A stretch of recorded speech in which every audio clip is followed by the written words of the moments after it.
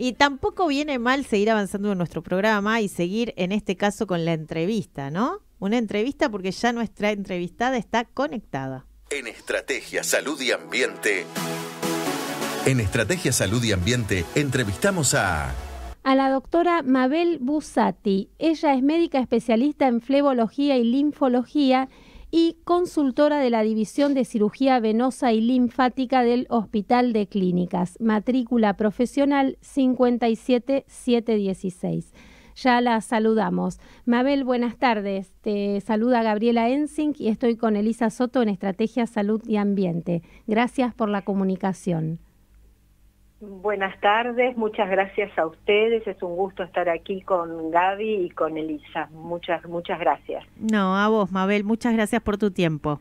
Sí, el gusto es nuestro y queríamos charlar con vos un tema que es bastante frecuente, me imagino, vos nos comentarás cuál es la incidencia de este tema, que es la enfermedad venosa o esas molestias o hinchazón que uno tiene en las piernas. ¿De qué se trata y cuáles son los síntomas? Bueno, eh, la insuficiencia venosa crónica es un conjunto de fenómenos que afecta fundamentalmente los miembros inferiores y que se traduce en distintos signos que puede presentar los pacientes y síntomas que eh, son los que siente el paciente.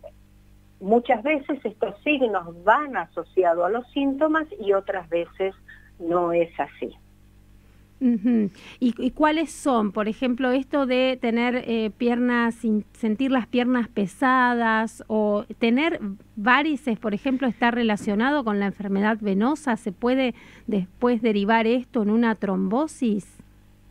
Eh, sí, está eh, todo íntimamente relacionado. Los síntomas más frecuentes, como bien dijiste, es la pesadez, la hinchazón de las piernas, la presencia de edema, eh, la picazón, sequedad de la piel, hormigueos, calambres, el dolor. Todo eso es lo que puede sentir un paciente portador de insuficiencia venosa. Pero además puede presentar signos visibles, que es lo que vemos. Estos pacientes pueden tener, como bien dije, edema, y eso es apreciable, eh, puede tener aranicas vasculares, eh, lo que llamamos telangiectasias, que pueden tener distinta distribución, distinta forma, distinta coloración. Puede presentar varices, eh, varices tronculares en forma de cordones, en forma de rosario. Puede presentar también alteraciones en la coloración de la piel, alteraciones en la textura, endurecimiento, fibrosis de la piel y puede, por supuesto, también ocurrir complicaciones como la trombosis venosa y o la úlcera venosa, es decir, la falta de, sustancia de, la piel en un sector determinado de la pierna. Obviamente, imagino, Mabel, te habla Elisa Soto, ¿cómo estás? Eh, eh, esto último que vos mencionás ya supongo será en un estado ya más crítico, ¿no? Más, más extremo, esta cuestión de incluso la falta de la piel. Por supuesto, son complicaciones de una enfermedad venosa, quizás no tratada, no diagnosticada a tiempo y a la cual no se le hizo el tratamiento. Porque debemos decir que con el diagnóstico precoz, determinando el tipo de insuficiencia que tiene cada paciente, recibiendo a partir de un diagnóstico de certeza el tratamiento adecuado, esta enfermedad es perfectamente controlada. Ahora bien, librada al azar sin tratamiento es progresiva, se torna crónica y es un padecimiento que puede llegar a la discapacidad de los pacientes. Claro, y, dos preguntas al respecto a partir de esto que señalas. Por un lado, eh, lo padecen más mujeres que varones. Querría un poco que comentes el motivo por el cual eh, se da de esa manera. y por otro lado, cuando hablamos entonces, si es que interpreté bien, de enfermedad venosa crónica, estamos hablando de algo mucho más complejo que simples varices. Cuando hablamos de insuficiencia venosa crónica hay distintos estadios, hay distintos estadios, desde el estadio 0, 1, como la presencia de arañitas vasculares, a un estadio grave, complicado, donde puede haber cicatriz de una úlcera este, que sea, eh, valga la redundancia, que ha cicatrizado, que se ha cubierto nuevamente de piel. En, dentro de ese hay un gran abanico, es decir, hay distintos grados de severidad de la enfermedad venosa crónica, pero eh, todo representa una enfermedad, ¿no es cierto? Claro. Es una afección sumamente frecuente. Eh, decimos en la población económicamente activa, es decir, entre hombres y mujeres entre los 30 y 60 años. Y se da más o menos en una relación de 6 a 10, eh, de 6 pacientes que la padecen sobre 10, ¿no es cierto? Y es más frecuente en mujeres que en hombres, en una relación de 4 a 1. Y esto se debe a las hormonas femeninas, a los estrógenos, a la progesterona y a los embarazos, por supuesto. Eh, Mabel, ¿y qué factores de riesgo hay o, cuáles son las causas de esta enfermedad? No sé, estar mucho tiempo parado o hay cuestiones genéticas. Bueno, se pueden dar eh, situaciones eh, donde la genética y la herencia intervienen intervienen y es preponderante. Es decir, decimos que cuando los dos progenitores eh, tienen varices, la probabilidad de la descendencia de padecer varices se eleva un 90%. Cuando uno solo de los progenitores tiene varices, se puede dar en la herencia en una proporción del 20% para los hombres y 62% para las mujeres. Mm. O sea que la herencia cuando existe es un factor determinante. Ahora bien, hay eh, situaciones que sí podemos modificar para evitar el agravamiento de la enfermedad venosa. Como por ejemplo, combatir el sedentarismo, combatir el sobrepeso, que son factores que van a agravar esta insuficiencia. Recordemos que la función del sistema venoso en los miembros inferiores es llevar la sangre de retorno hacia el corazón. Y esto lo hace a expensas de un sistema valvular que hay dentro de las paredes, que se comportan como puertas de doble hoja que permiten el ascenso de la sangre e impiden que la sangre retroceda. Esta actividad la realiza en forma sincrónica con la respiración y con la contracción de los músculos de la pantorrilla. Ahora bien, cuando un sector del sistema venoso se enferma, se enferma, hay un gran deterioro de la pared, hay dilatación, deterioro del aparato valvular, entonces la sangre en ese sector va a circular mucho más lentamente los elementos de la sangre van a estar en contacto con la pared y se va a desencadenar lo que llamamos una cascada inflamatoria que va a alterar la pared, el aparato valvular y los tejidos circundantes, dando origen a los signos y síntomas de la enfermedad venosa.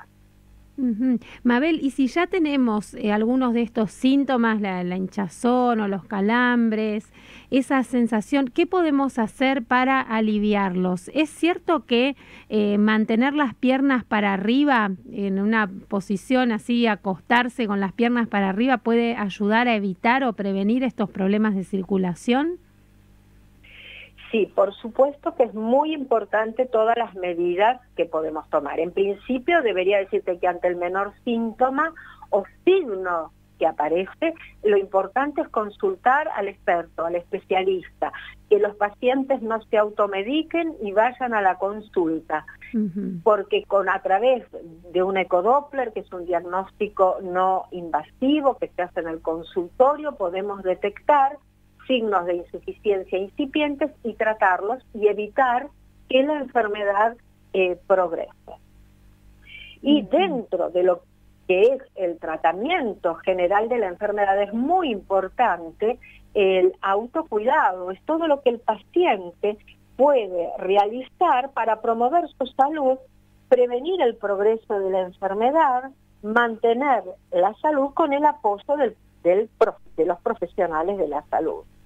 Y entonces, medidas como por ejemplo elevar las piernas son muy beneficiosas, alternar duchas frías y calientes en, eh, debajo de la rodilla también es muy beneficioso, evitar el uso de ropa ajustada que genere un efecto eh, liga, evitar eh, estar todo el día con tacos muy altos, es importante corregir alteraciones osteoarticulares, sobre todo el mal apoyo plantar, que eh, impediría un buen accionar de esta bomba muscular de la pantorrilla que nos va a ayudar en el retorno venoso.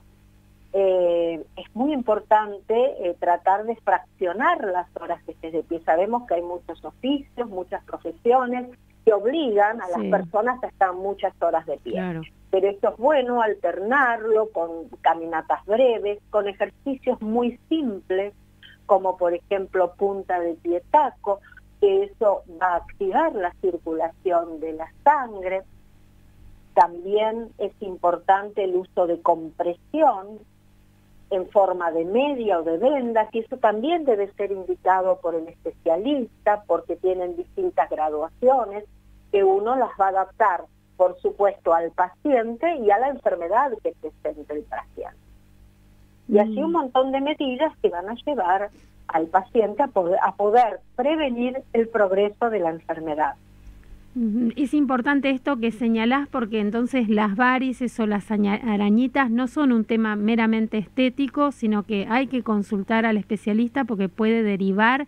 ¿Y qué hay de esto de los viajes en avión que también pueden ser riesgosos si la persona tiene estos síntomas de enfermedad venosa?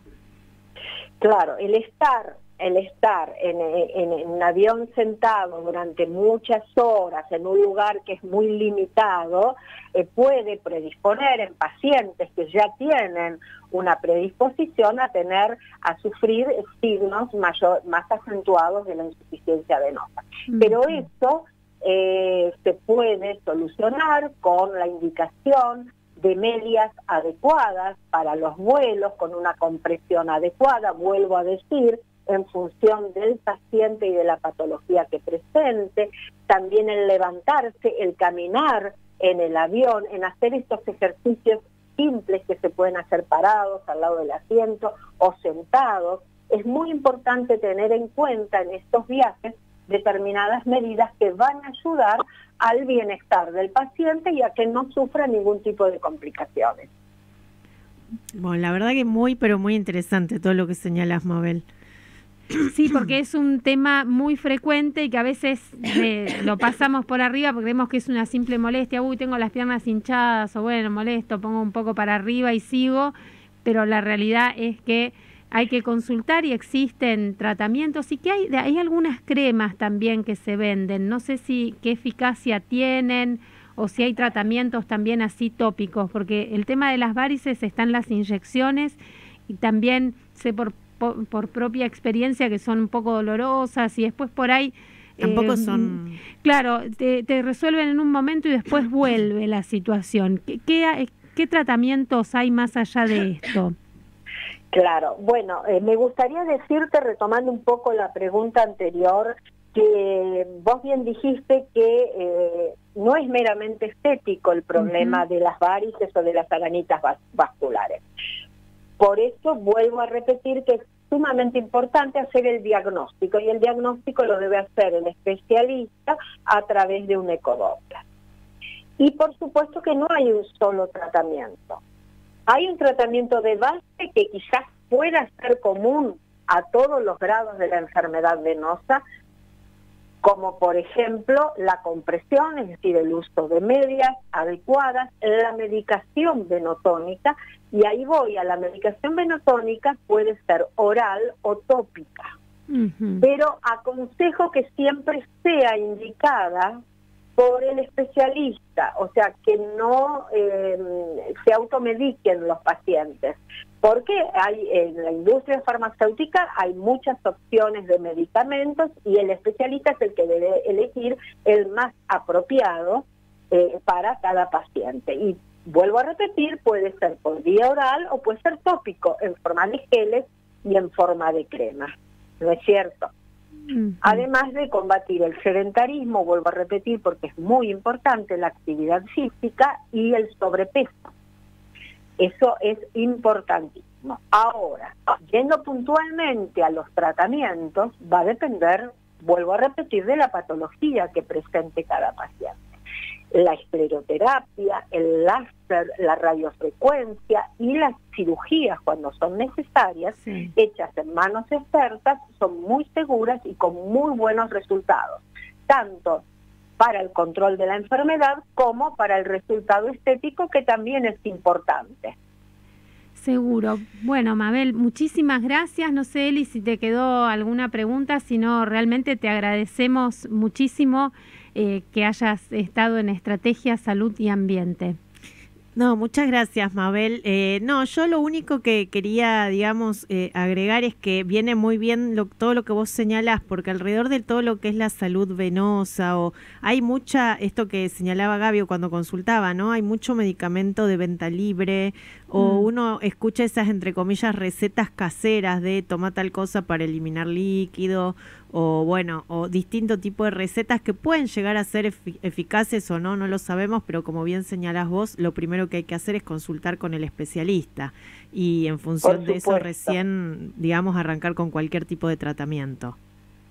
Yo creo que sí, que lo más importante como corolario es decir que no se automediquen, que consulten al especialista ante el menor signo o síntoma y siempre eh, es muy beneficioso prevenir en salud.